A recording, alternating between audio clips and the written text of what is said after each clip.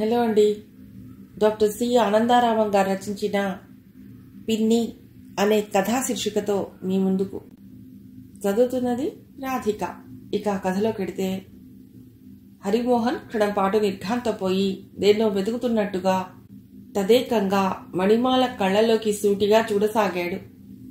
అనుకోకుండా ఆవరించిన సిగ్గుతో మణిమాల తలవంచుకున్నది హరిమోహన్ మాట్లాడలేకపోవటం గమనించి ఆమె తల ఎత్తి చూడగా అతడింకా అదే పద్ధతిలో తనను చూస్తున్నాడు. అట్లా చూస్తారేం? నేనేదైనా అసహజంగాను అసంభవంగాను ఉండే పద్ధతిలో మాట్లాడానని అనుమానిస్తున్నారా? అన్నది మణిమాల. హరి కాస్త తేరుకున్నాడు. ఎందుకో మీరు తొందరపడుతున్నారనిపిస్తోంది. అన్ని విషయాలు బాగా ఆలోచించుకున్నారా? నేను చాలా సామాన్యమైన గుమస్తాని. వయసులో మీకంటే బాగా పెద్దవాణ్ణి. ఇద్దరు ఆడపిల్లలకు తండ్రిని అంటూ ఇంకా చెప్తుండగానే మణిమాల మధ్యలో అడ్డుపడింది. నాకన్నీ తెలుసు. నేనేం తొందరపడలేదు. నేనేదో త్యాగం చేస్తున్నానన్న భావనతో ఈ నిర్ణయానికి రాలేదు. ఇందులో నాకు సౌఖ్యం ఉందనిపించే ఇలా మధ్యలో చెక్కిళ్ళు ఎర్రబడగా తడబడే మాటల్ని మింగేసింది మాల. హరిముఖం వెయ్యి విద్యుత్ దీపాల కాంతులతో వెలిగింది. ఇంతకన్నా నాకు కావాల్సింది ఏముంటుంది అయినా మరొకసారి చెప్తున్నాను. ఇంత చిన్న వయస్సులో ఇద్దరు పిల్లల బాధ్యత మీరు స్వీకరించవలసి వస్తుంది. మీకు తెలియదు నాకు కావాల్సిందే ఆ పిల్లలు. నాకు చిన్నప్పటి నుండి విపరీతంగా కడుపు నొప్పి వచ్చేది. ఆ బాధ భరించలేక ఆపరేషన్ చేయించుకున్నాను. ఆ కారణంగా లేడీ డాక్టర్ నాకు సంతానార్హత ఉండదని చెప్పింది. నాకు పిల్లలంటే విపరీతమైన వ్యామోహం. నా వ్యామోహాన్ని నా భగవంతుడు ఈ పద్ధతిలో తీర్చదలిచాడనుకుంటాను. అన్నది మణిమాల. ఆమె కళ్ళు కొద్దిగా చెమ్మగిల్లి ఉండటం గమనించాడు. మాల మళ్ళీ నేను మీ ఇంటికొచ్చి ఆ తల్లి లేని పిల్లలను చూసిన దగ్గర నుండి వాళ్ళకు తల్లిని కావాలనే ఆశ నాలో రోజు రోజుకి అధికం కాసాగింది. ఆ అభిప్రాయం మీ ముందు చాలాసార్లు వ్యంగ్యంగా వ్యక్తపరిచాను. గ్రహించుకోలేదు. చివరకు సాహసించి ఇలా ఆగిపోయింది మాల. ఉత్త మూర్ఖుణ్ణి అవునా? అన్నాడు హరి అమాయకంగా. మణిమాల నవ్వేసింది. ఆమె నవ్వులో హాయిగా శృతి కలిపాడు హరిమోహన్. మణిమాల తన జీవితంలోకి ప్రవేశించిన తర్వాతనే నిజమైన దాంపత్య జీవితానందాన్ని రుచి చూడగలిగాడు హరిమోహన్. అతని మొదటి భార్య చాలా అనారోగ్యపు వ్యక్తి. మేనరికమని అతడి ఇష్టాయిష్టాలతో నిమిత్తం లేకుండానే జరిగిపోయింది. ఐదేళ్ళు మాత్రమే ఆమెతో సంసారం చేశాడు హరి. ఆ ఐదేళ్ళలోనూ ఏనాడు సుఖమనేదేమిటో ఎరగడు. కాపురానికి వచ్చి ఏడాది తిరగకుండానే కాన్పు అందులో జబ్బు అప్పులు చాలీ చాలని జీవితం చిరాకులు ఎడమొహం పెడమొహం. కాస్త ఆరోగ్యం కుదుటపడిందనుకోగానే మళ్ళీ కాన్పు మళ్ళీ రోగం. ఆ రోగం నుండి మళ్ళీ ఆమె కోలుకోలేదు. భార్య మరణించినప్పుడు తనతో అలవాటు పడిన ఒక ప్రాణి పోయిందని కొంత విచారం కలిగినా తర్వాత అతడి దృష్టంతా పిల్లల మీదకు మళ్ళింది.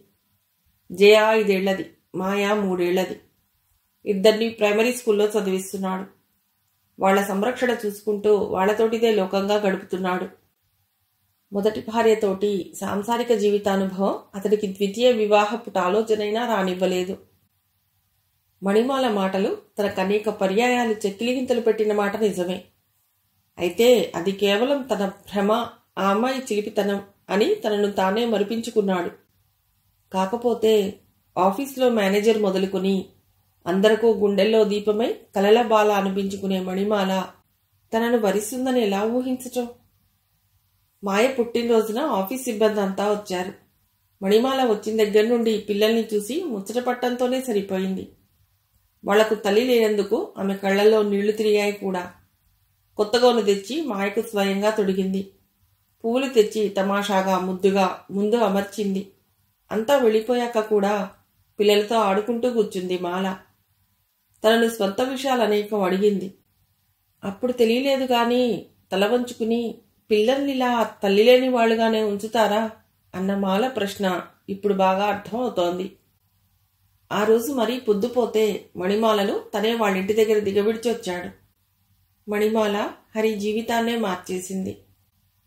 ఉదయం కళ్ళు తెరుస్తూనే రేగిన తలతో హడావుడిగా వంకర టింకరగా పెట్టుకున్న బొట్టుతో బడలిక వదలని మొహంతో వంటింట్లో పనుల్లో మునిగిపోయిన మణిమాలను చూస్తుంటే హరికి మానవ జీవితం ఎంత ఆనందమయమో అర్థమయ్యేది మొహమైనా కడుక్కోకుండానే మాలను సమీపించబోతుంటే చేతులు రెండు మొహానికి అడ్డుపెట్టుకుని అబ్బబ్బా మరీ చిన్నతనం అవతల పిల్లలు అని అందంగా విసుక్కుని తొందరగా మొహం కడుక్కుని రావాలి మరి కాఫీ రెడీ అని ఊరించేది. జయకు మాయకు మాల స్వయంగా తలలు దువ్వి బడికి తయారు చేసి పంపుతుంటే హరి హృదయం ఆనందంతో కృతజ్ఞతతో ఊగిపోయేది. పిల్లలు పిన్ని పిన్ని అంటూ మాల చుట్టూ తిరుగుతుంటే అతను పరవశత్వంతో అటే చూస్తూ కూర్చునేవాడు. స్నానం చేసి యువతలకు వచ్చేసరికి తయారుగా తను తీసుకోవలసిన పంచా షర్టు ఉండేవి. తను చిందరవందరగా వదిలేసిన ఫైళ్ళన్నీ చక్కగా కట్టలు కట్టి ఉండేవి. పిల్లల్ని బడికి పంపి ఇద్దరూ ఒకసారి కూర్చుని అన్నాలు తిని ఒకే రిక్షాలో ఆఫీస్కి వెళుతుంటే తాను స్వర్గంలో ఉన్నాననే అనిపించేది హరికి. తన పిల్లలకు తల్లిగా కంటే తనకు భార్యగానే మణిమాల తన జీవితాన్ని ఆవరించుకుందనే సత్యం తెలిసి రావటానికి ఎక్కువ రోజులు పట్టలేదు. హరిమోహన్ కుందరపు బొమ్మల మెరుపులు విరజిమ్ముతూ తనను మురిపించి మరపించే మాల అతడికి జీవిత సర్వస్వము అయింది. ఆ రసమయ ప్రపంచంలో అతడికి ప్రపంచము పిల్లలు బాధ్యతలు అన్నింటి నుండి మైమరపు కలుగుతోంది. మంచి ఇంగ్లీష్ పిక్చర్ ఆడుతుంది. పోదామా? అన్నాడు హరి ఆశగా ఒక రోజున. పిల్లలో? అన్నది మాల. వాళ్ళు కూడా చూడతగ్గదేలే. బెంగపెట్టుకోకు అన్నాడు హరి నవ్వుతూ. చూడదగ్గదే కావచ్చండి కానీ చూడగలరా అని. సగంలోనే చికాకు పడిపోతారు. మీరు వెళ్ళిరండి నేనెంతో ఆశగా అడిగితే చివరికిదా? నీకు పిల్లలే ఎక్కువలాగుంది అన్నాడు హరి నొచ్చుకుంటూ. ఈ మాత్రానికి అంత నొచ్చుకోవాలా? పదండి అంటూ మాల పిల్లలతో సహా సిద్ధమైంది. మాల అనుకున్నట్టే ఇంకా ఇంటర్వెల్ అయినా కాకుండానే రెండోది ఏడుపు ప్రారంభించింది. హాల్లో మిగిలిన వాళ్ళకి ఇబ్బంది కలగకుండా మాల మాయనెత్తుకుని బయటకు వచ్చేయబోయింది హరిమోహన్కు ఎక్కడలేని కోపమూ వచ్చింది. రెండు అంటించి నోరు మూసి కూర్చోబెట్టు. దాని ఏడుపు కోసం నువ్వు సినిమా చుట్టం మానేయడమేమిటి? విసుగ్గా అన్నాడు. మాల విచిత్రంగా అతడి వైపు చూసి సమాధానం చెప్పకుండా మాయనెత్తుకుని బయటికి నడిచింది. హరిమోహన్కు చిరాకెక్కువైంది సినిమా హాల్లో కూర్చున్నాడన్న మాటే గాని వంటి నిండా తేళ్ళు జరులు పాకుతున్నట్లు అనిపించింది. ఇహ ఎక్కువసేపు ఉండలేక తను బయటకొచ్చి మాయన్ నాకిచ్చి నువ్వు లోపలికి వెళ్ళి సినిమా చూడు అన్నాడు. మాల నవ్వి అక్కర్లేదు. సినిమాలంటే నాకు అంత సరదా లేదు. మీరే లోపల కూర్చోండి అంది. నీతో కలిసి చూడాలని వచ్చాను గాని లేకపోతే ఈ సినిమా కోసం ఏడ్చేవాడేవాడు? విసుక్కున్నాడు హరి. మాల తలవంచుకుని తనలో తాను నవ్వుకుంది. ఇంతలో మాల హరి కూడా బయటకు వెళ్ళిపోవటం వల్ల జయ బిత్తరపోయి ఏడుస్తూ బయటకొచ్చింది. మాల మాయను హరికి అప్పగించి జయను సముదాయించి జయతో హాల్లోకి వెడదామనుకునేటంతలో జయ బాత్రూంకి పోవాలనంది. మాల జయను బాత్రూంలోకి తీసుకెళ్ళి తిరిగి వచ్చేసరికి మాయ పెద్దగా ఏడుస్తోంది. ఎందుకలా ఏడుస్తుంది? అంది మాల కంగారుగా. హరి ఏమైనా కొట్టాడేమోనని. ఎక్కడ లేని దాహము ఈ క్షణంలోనే ముంచుకొచ్చిందిట ఈ రాక్షసికి కసిగా అన్నాడు హరి. ఇలా ఇవ్వండి బయట ఏదైనా డ్రింక్ ఇప్పించి వస్తాను ఏ వద్దు దీన్ని తీసుకో. రిక్షా పిలుచుకొస్తాను ఇంటికి పోదాం. ఈ సినిమా చాలును. మాయను విసురుగా మాల మీదకు తోసేసి విస విస వెళ్ళిపోయాడు హరి. ఇంటికి చేరుకునే వరకు ఎవ్వరూ ఒక్క మాట కూడా మాట్లాడలేదు. ఇంట్లోకి అడుగు పెడుతూనే చిచ్చి వ్యధవసంత హాయిగా ఒక్క సినిమా అయినా చూసే యోగ్యత లేదు అంటూ విసుక్కున్నాడు హరి. మాల గతుక్కుమంది. ఒక్కసారి అయోమయంగా హరిమోహం వంక చూసి తొందరగా అందరకు పక్కలు వేసి ఇంకా ఏవేవో పేచీలు పెడుతున్న జయను మాయను చెరొక పక్క పడుకోబెట్టుకుని తను మధ్యలో కూర్చుని వాళ్ళని జోకొట్టి నిద్రపుచ్చింది. ఆ రాత్రంతా హరి మాలతో మాట్లాడలేదు. ఆమె నిశ్శబ్దంగా తనలో తాను బాధపడి ఏడ్చిందన్న విషయం కూడా అతడికి తెలియదు. మన్నాడు కూడా హరి ముభావంగానే ఉన్నాడు. మాల కూడా అలాగే నిర్లిప్తంగా ఊరుకుంది. కానీ మాలతో ఎక్కువ రోజులు ముభావంగా ఉండగలగటం హరికి సాధ్యం కాదు. అందుకే ఆ మర్నాడే మాలను ఆప్యాయంగా పలుకరించాడు. మాల నవ్వుతూ సమాధానం చెప్పింది. వాతావరణంలోని గ్లాని మాయమై మళ్ళీ రోజులు సాఫీగా గడుస్తున్నాయి. బజార్ నుండి వస్తూ దారిలో మల్లెపూలను చూసేసరికి హరికి మణిమాల గుర్తుకొచ్చింది. పూలు కొని ఆ పొట్లాన్ని నలిగిపోకుండా భద్రంగా చేతిలో బుచ్చుకుని దారి పొడుగుతా ఆ పూలను అలంకరించుకుని ఉన్న మణిమాలను మాలతల్లోని ఆ పూలు తనకు కలిగించే పారవస్యాన్ని ఊహించుకుంటూ ఇంటికి వచ్చి ఆ పూలను మాలకు అందించాడు. మాల మల్లెల్ని చూసి మురిసిపోయింది.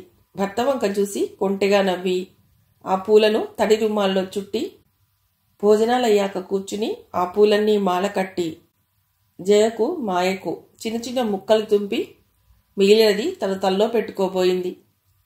అంతలో జయ అడ్డు తగిలి పిన్ని ఆ పూలన్నీ నాకే కావాలి. పక్కింటి వాళ్ళ రాతలాగా నేను జడంతా పువ్వులు పెట్టుకుంటా అంది.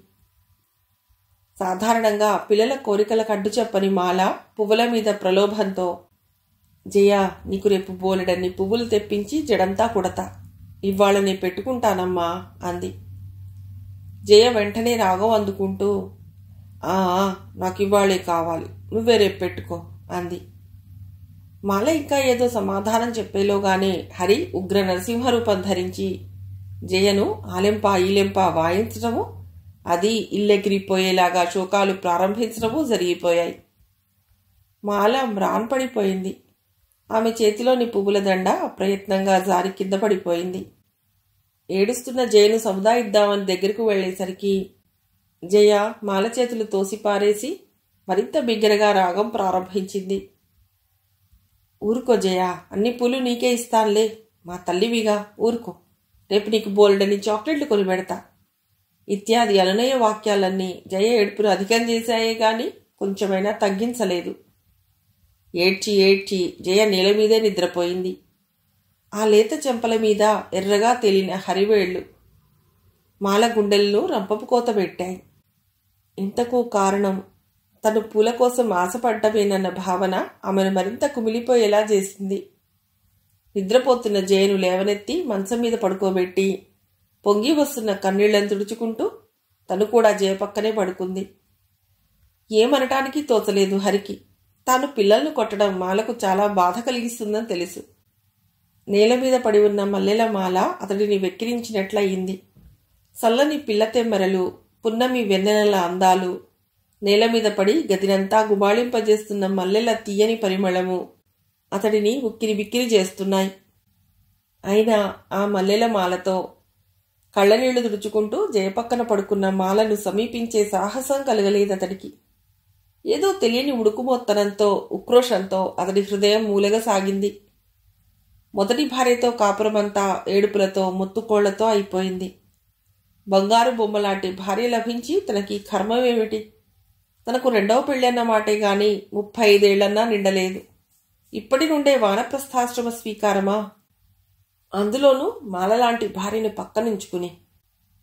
రాత్రంతా ఈ ఆలోచనలతోనే గడిచింది హరికి. మర్నాడు ఉదయం ఎంతో ఆందోళనతో ఉన్నట్లున్న హరి మొహం చూసి మాల హరి కూడా జయను కొట్టినందుకు బాధపడుతున్నాడని అనుకుని ఆ భావన వల్ల హరి మీద జాలి కలిగి చిరునవ్వుతో అనునయ వాక్యాలతో అతడిని ఆశ్వాసించింది. మాల చిరునవ్వు హరి హృదయంలో కల్లోలాన్నంతా క్షణంలో తుడిచిపెట్టేసింది. ఆ సాయంకాలం హరి మామూలు కన్నా గంట ఆలస్యంగా ఇంటికొచ్చాడు. మన పిల్లలు చదువుకుంటున్న స్కూల్ వాళ్ళు చక్కటి ఏర్పాటు ఒకటి చేశారు. చిన్నపిల్లలకు హాస్టల్ తెరిచారు. వీళ్ళిద్దరినీ అందులో చేర్పించే ఏర్పాటు చేసొస్తున్నాను అన్నాడు హరి. ఆ ఆఖరి ముక్క అంటున్నప్పుడు హరి గొంతు బాగా ఎండిపోయింది. మాల నిర్ఘాంతపోయింది. క్షణంలో తేరుకుని చకచకా హరి దగ్గరకు నడిచి ఏమిటి మీరు మాట్లాడుతున్నది? అంది తీక్షణంగా. ఆమె తీక్షణ స్వరానికి ఒక్కసారి హరి గుండెలు చల్లుమన్నాయి అయినా అతడు తన నిర్ణయాన్ని మార్చుకోదలచలేదు. అందుకనే తన స్వరాన్ని సాధ్యమైనంత దృఢంగా మార్చుకుని నువ్వు వింటున్నావనే అనుకున్నాను అన్నాడు. ఆ సమాధానం మాలను మరింత మండించింది. వినబడకపోవటానికి చెవుడు లేదు. అసంభవాలైన విషయాలు మాట్లాడితే అర్థం చేసుకోలేకపోతున్నాను. పిల్లల్ని హాస్టల్లో చేర్చి రావడంలో అసంభవం ఏముంది? నా కంఠంలో ప్రాణం ఉండగా అది అసంభవమైన విషయమే. నా పిల్లలు నా ఇష్టం. నేను వాళ్ళను హాస్టల్లో ఉంచేస్తాను. మీ పిల్లలు ఒక్కనాటికి కాదు. ఇప్పుడిప్పుడే మీరే అన్నారు మన పిల్లలని. అంతలోనే మాట మార్పా? మిమ్మల్ని నేను పెళ్ళి చేసుకున్నాక వాళ్ళు మన పిల్లలు. నా ఇష్టం లేకుండా మీరు పిల్లల విషయంలో ఏం చేయటానికి వీల్లేదు. ఓ అది అలా చెప్పు. నీకు కావాల్సింది పిల్లలు నేను కాదు. నా మీద నీకు కొంచెమైనా ప్రేమ లేదు. నీకు పిల్లలు పుట్టరు గనుక నన్ను పెళ్ళి చేసుకున్నావు. ఇప్పుడు పిల్లల్ని అడ్డుపెట్టుకుని నన్ను తప్పుకు తిరుగుదామని చూస్తున్నావు. అంతేనా? కసిగా అన్నాడు హరి. మాల మతిపోయినట్లు అతడి మొహంలోకి చూసింది. ఏ సమాధానమూ ఆమె నోటి నుండి రాలేదు. హరి తిక్క ఇంకా పెరిగింది. కానీ మాల ఇది విను. పిల్లల్ని పెంచడమే నాకు కావలిస్తే ఒక ఆయాను పెట్టుకోగలను. అందుకోసం పెళ్ళి చేసుకుని వాళ్ళ ప్రాణానికి ఒక సవతి తల్లిని తీసుకురానక్కర్లేదు. బ్రహ్మాస్త్రం వదిలాడు హరి. మాల కళ్ళు తిరిగి నేల మీద కూలింది. హరి ఆతృతగా ఆమె దగ్గరకు రాబోయాడు. మాల చీదరగా అతడి వంక ఒకసారి చూసి చటుక్కున అక్కడి నుంచి లేచిపోయింది. హరికి మాల మీద అంతులేని కోపం వచ్చింది. సాయంత్రం ఆఫీసు నుండి ఇంటికి వచ్చిన హరికి మాల కనబడకపోయేసరికి చాలా ఆశ్చర్యం కలిగింది. తనకంటే ముందే ఆఫీస్లోంచి బయలుదేరింది. ఇంటికే వచ్చి ఉంటుందని అనుకున్నాడు. పిల్లలు అప్పటికే ఇంటికి వచ్చేశారు. పని మనిషి వాళ్ళకు నీళ్ళు పోసి బట్టలు మార్చి పాలు తాగించింది. వాళ్ళు ఆడుకోవడానికి వెళ్ళారు ఏడు గంటలైనా మాల రాకపోయేసరికి హరికి కంగారు కలిగింది. అంతలో తన మీద అలిగి వాళ్ళ ఇంటికెళ్ళి ఉండవచ్చునన్న ఆలోచన కలిగింది. ఆ ఆలోచనతో అతడిలో పౌరుషం మరింత పెరిగింది. వెళ్ళని మహా తనే దిక్కైనట్టు అనుకున్నాడు హరి. పిల్లలు ఆకలి అని గోలపెడుతున్నారు. విసిగ్గా ఉంది. అటు ఆఫీస్లోనూ ఇటు ఇంట్లోనూ పనులు చేసుకోగలగటం ఆడవాళ్ళకే చెల్లింది. ఆఫీస్ నుండి వచ్చి కుంపటి అంటించుకోవాలంటే ఎంత విసుగు! వంట ప్రారంభించాడు. వంట పూర్తి కాకుండానే మాయ ఆకలి అని ఏడ్చింది. ఒళ్ళు మండి దాని వీపు మీద రెండు అంటించాడు. అది ఏడ్చి ఏడ్చి అన్నం తినకుండానే నిద్రపోయింది. చెల్లెలికి తగిలిన దెబ్బలు చుట్టంతోనే జయకు ప్రారంభం కాబోయే పేచి దానంతటదే ఆగిపోయింది. బిక్కు బిక్కుమంటూ ఓ మూల కూర్చుంది. తండ్రి అన్నం పెడుతుంటే సాహసించి పిన్ని ఏది నాన్న? అంది. హరికి తెగ విసుగ్గా ఉంది. మీరు అల్లరి చేస్తున్నారని ఇక్కడికి రాకుండా వెళ్ళిపోయింది అన్నాడు. జయ గతుక్కుమంది. ఆ చిన్నారి కళ్ళల్లో నీళ్ళు నిండాయి. తన అల్లరి వల్ల పిన్ని వెళ్ళిపోయిందా అమ్మో తను ఇంకెప్పుడు అల్లరి చేయదు. పిన్ని కావాలి. పిన్నిని రమ్మని చెప్పు నాన్న అంది జయ జాలిగా. రాదు అన్నాడు కోపంగా హరి. కోపంతో ఉన్న తండ్రి మొహం చూసి ఇంకేమీ మాట్లాడలేకపోయింది.